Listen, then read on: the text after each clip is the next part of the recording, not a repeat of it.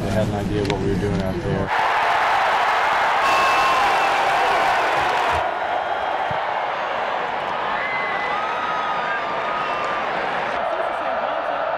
You can't turn the ball over.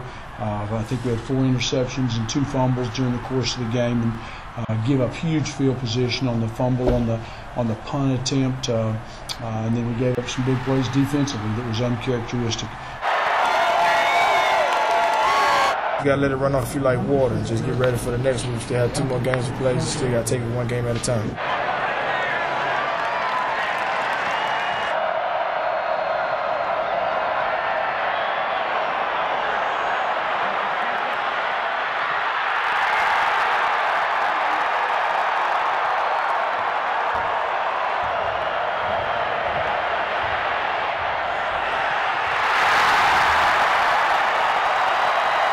We keep each other going. We feed off each other all the time, and, and it's, it's like a boxing match. If you get one lit, it'll carry on. It'll be a domino effect.